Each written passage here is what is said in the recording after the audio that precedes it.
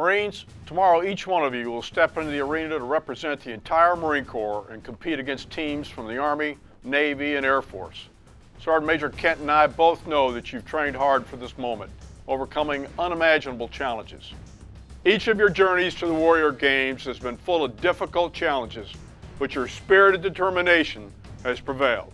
The Commandant and I are very proud of you for the dedication you have put into training for this competition.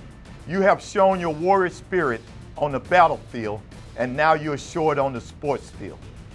Last year, the Marine Corps team stoutly defeated all challengers from the other services, and at the end of the week, held the Chairman's Cup high in victory. Sergeant Major Kent and I, speaking for all 240,000 of our brothers and sisters active and reserve throughout the Corps, wish you the very best as you compete over the next six days. We're all counting on you to show the other services what Marines are made of and what we can accomplish as a team. Just like in combat, your strength and victory lies in your dedication to the Marine on your right and left. Your commitment to each other will enable you to prevail over all challengers. Marines, it is the very spirit of Semper Fidelis, always faithful, that serves as the source of our strength. Your performance here is important because your example serves as an inspiration to all of us, and especially those newly wounded warriors who are dealing with the fear and confusion of recently being injured in combat.